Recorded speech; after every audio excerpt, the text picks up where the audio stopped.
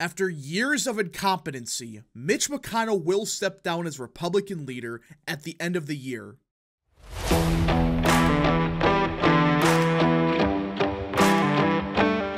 What is up, people of the internet? It is me, Real American, back again with a new video today. It is time that we talk about the great news that came out of the Senate just a couple days ago because everyone, it is official.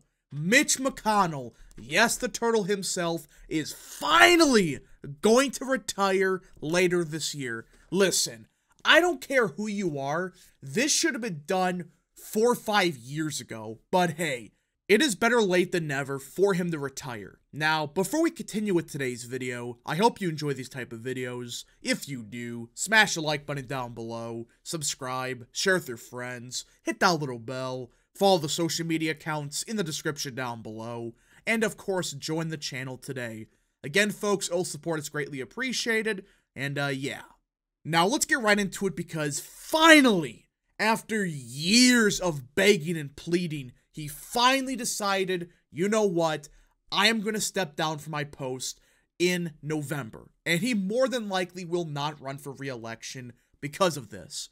Senate Minority Leader Mitch McConnell will step down from the helm of the Republican conference this year, ending his time as the longest serving leader in Senate history. Yeah, Mitch McConnell is the longest serving leader in the history of the Senate. Of all the people that could have been the leader, it's Mitch McConnell.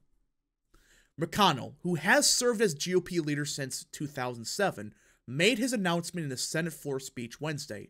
An election to replace him as leader will occur in November, with the successor taking charge in January. Now, when they say the election is taking place in November, I hope they're saying, okay, it's after the general election. It's after the votes are counted. That's after, say, Bernie Moreno or Tim Sheehy wins. It's just an example, you know? I hope that's the case and not, hey, it's going to be people like Mitt Romney that retired, but they're the ones making the decision for who the leader will be next year. I hope that's not what they mean because if that's the case, we may end up with a downgrade over McConnell. One of life's most unappreciated talents is to know when it's time to move on to life's next chapter, so I stand before you today, Mr. President, and my colleagues, to say this will be my last term as Republican leader of the Senate, McConnell said, adding in his address that he had total clarity and peace about the sunset of my work. You know, I am not a fan of McConnell, but I am glad that even he realizes okay, my health is not getting better, I'm getting older, why am I here? I'm glad he understands, you know what? I'm going to step down this November right after the election, I will not run for another term, at least as leader. More than likely, that means for the Senate, but you get the point that he understands at least, okay, I gotta go. It's not like Feinstein where she was forced out. In this situation, it seems like that while there might have been some, you know, people pushing for it, McConnell made the decision of, okay, I'm gonna step down in November. President Joe Biden, a longtime friend of McConnell's, despite their frequent sparring over politics, praised him in a statement, saying he was proud that they had been able to work together in good faith even though they had many political disagreements. During his many years of leadership, we could always speak with each other honestly and put the country ahead of ourselves, Biden said. Eh, I may not go that far, but I'll give McConnell the credit where it's due that, hey, he realized it's time to step down.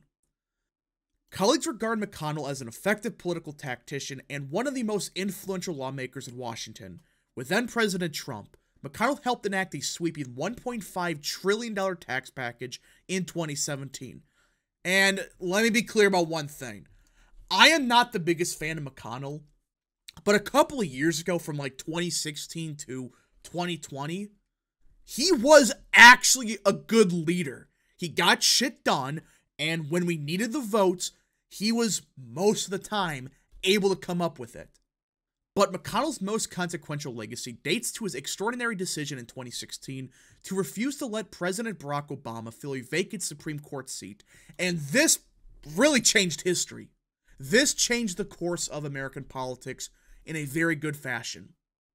Without McConnell doing this, we would have never been able to overturn Roe versus Wade. You don't gotta like McConnell to understand from 2016 to 2020, he did stuff like this. He absolutely was a, politically speaking, a decent leader at the time.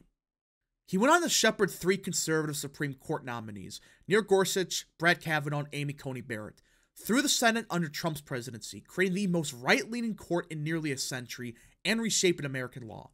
That court overturned Roe v. Wade in June of 2022, ending the national right to abortion, among many other decisions, which you still gotta give Trump credit for, you know, winning the presidency and, you know, being able to fill those spots. But McConnell did help getting those justices through. He did help prevent Obama from picking another Supreme Court justice.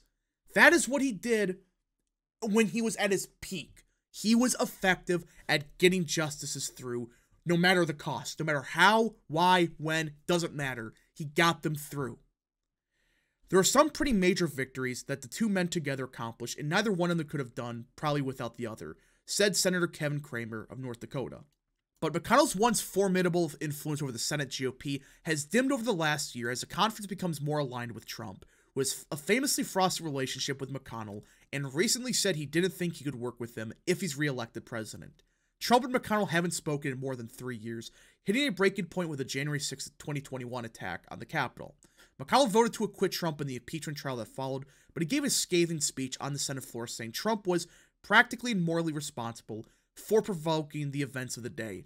And really, this and the whole stimulus checks, that's when McConnell fell off the freaking map. I mean, this guy went from, you know, he wasn't the best on the issues, he was more of an establishment Republican, but he still helped Trump get his agenda through, to Orange Man bad. Not as bad as, say, Mitt Romney, but ever since then, it just, it's been pathetic. Still, aides of both top Republicans have recently held discussions, including an effort to get McConnell to endorse Trump for re-election. The Republican conference has recently broke with McConnell on matters like Ukraine aid and a quote bipartisan border security deal. And his critics had promised he would face a challenge if he sought to run again for the leader position. And this is one of the other big reasons he dropped out. Yes, I think his health is the biggest reason. I mean, let's face it.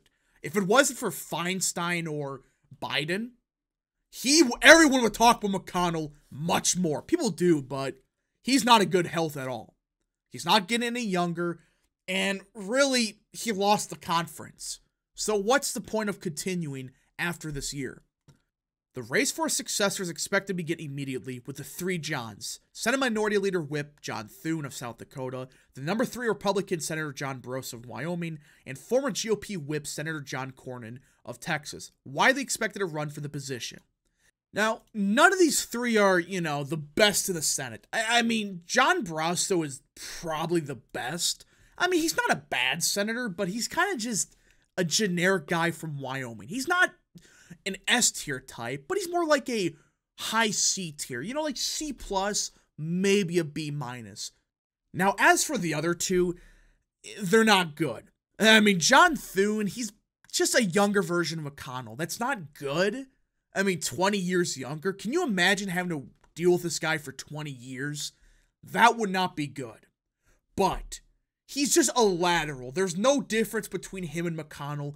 Maybe he's slightly better because he endorsed Trump, but that's about it. But John Cornyn, oh boy. This guy right here is the downgrade. He would be worse than McConnell. That's how bad John Cornyn is. I mean, he's a gun grabber from Texas.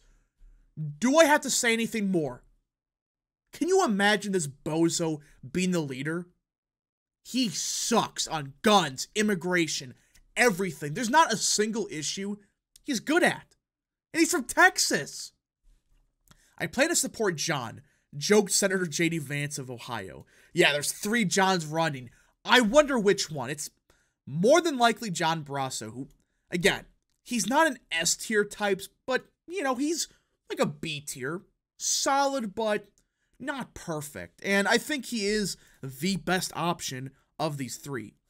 Thune is the favorite to replace McConnell, given that he's well regarded by colleagues and the number two GOP leader. But while he endorsed Trump in recent days, Thune has also clashed with the former president and likely GOP 2024 nominee, a fact that could complicate the senator's bid for the top job. That could provide an opening for either Barrasso, who is more aligned with Trump, or Cornyn, a former number two leader under McConnell and a prolific fundraiser. None of the three Johns announced their bids Wednesday, allowing McConnell to have his day. Well, now we know John Cornyn is officially in. I don't see him getting a single vote. I really don't. Outside of maybe someone like Murkowski or Susan Collins, there's no one that's going to vote for this guy, especially if Thune is running. I mean, John Thune, he has the support of McConnell's people. While Barrasso, he's going to have the support of Trump's people, unless someone else enters, which I don't see happening. It's really between Thune and Barrasso. Cornyn's just a meme. He's not going to get much support, if any. I mean, who wants to support Cornyn? The best of the three is Barrasso, while most of McConnell's people are just behind Thune. So why is Cornyn running? I have no clue. I don't think he expects to win people like JD Vance over.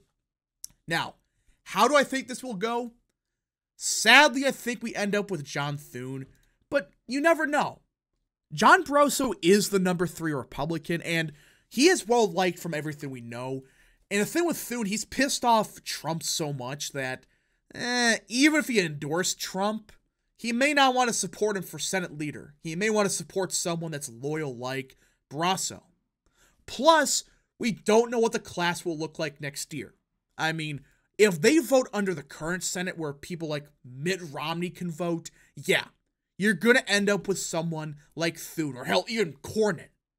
But if you end up with next year's class of someone like Bernie Moreno, Jim Justice, or whoever, well, that gives Barrasso a much easier pathway to becoming leader. But we got to see what happens. Hopefully, he can pull it off because we cannot have John Thune be the Senate leader next year. That that would be a disaster waiting to happen. Anyways, folks, thank you so much for watching. If you guys did enjoy this video, smash the like button down below, subscribe, share with your friends, hit that little bell, follow the social media accounts in the description down below, and of course, join the channel today. Thank you so much. Godspeed to all of you.